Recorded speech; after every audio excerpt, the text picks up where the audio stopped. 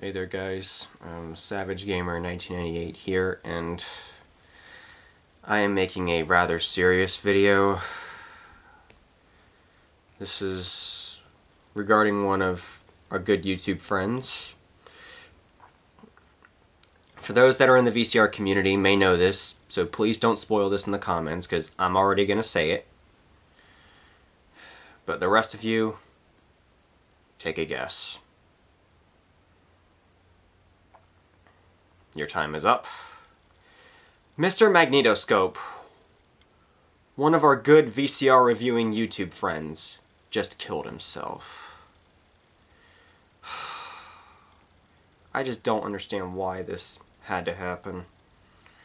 We don't even know why he did this. But, Mr. Magnetoscope, I know you're all the way up in heaven, and I hope you're listening to this and may he rest in peace. So yeah, that's pretty much all I wanted to say. So, yeah, I'll see you guys later. Bye.